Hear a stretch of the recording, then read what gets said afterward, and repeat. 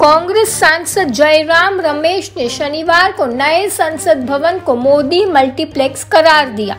उन्होंने यहाँ तक कह दिया कि 2024 में जब सत्ता बदलेगी तो संसद भवन की नई इमारत का बेहतर इस्तेमाल किया जाएगा।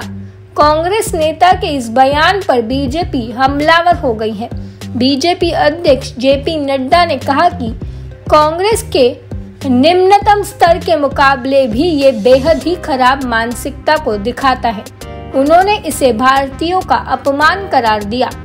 बीजेपी अध्यक्ष नड्डा ने सोशल मीडिया प्लेटफॉर्म एक्स पर लिखा, कांग्रेस पार्टी के निम्नतम स्टैंडर्ड के हिसाब से भी ये दयनीय या कहे खराब मानसिकता है।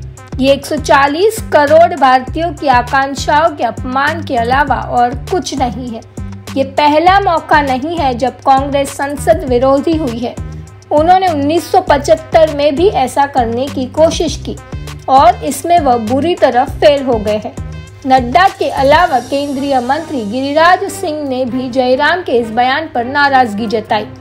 केंद्रीय मंत्री गिरिराज सिंह ने कहा कि मेरी मांग है कि पूरे भारत में राजवंशियों के गड्ढों का मूल्यांकन करने की ज़रूरत है। सफदरगंज रोड कॉम्प्लेक्स को तुरंत भारत सरकार को सौंपने के साथ होनी चाहिए। ऐसा इस बात को ध्यान में रखते हुए होना चाहिए। सभी प्रधानमंत्रियों को अब पीएम संग्रहालय में जगह दी गई है। दरअसल, सफदरगंज रोड पूर्व प्रधानमंत्री इंदिरा गांधी का निवास स्थान है, जहाँ पर वर्तमान में इंदिरा गांधी मेमोरियल म्यूज़ियम मौजूद है। इतने प्रचार के साथ लॉन्च किया गया नया संसद भवन वास्तव में पीएम के उद्देश्यों को अच्छी तरह से साकार करता है। इसे मोदी मल्टीप्लेक्स या मोदी मैरियट कहा जाना चाहिए। चार दिनों के भीतर ही मैंने दोनों सदनों के भीतर बातचीत को खत्म होते हुए देखा है।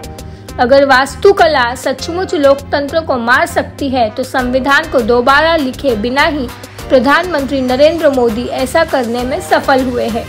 उन्होंने कहा कि यहाँ एक दूसरे को देखने के लिए दूरबीन की ज़रूरत पड़ती है, क्योंकि हॉल बिल्कुल भी कॉम्पैक्ट नहीं है। पुराने संसद भवन का एक गौरव था। दोनों सदनों, सेंट्रल हॉल और गलियारों के बीच चलना आसान था। उन्होंने आगे कहा कि शायद 2024 में सत्ता परिवर्तन के बाद नए संसद भवन का बेहतर इस्तेमाल किया जा सकेगा।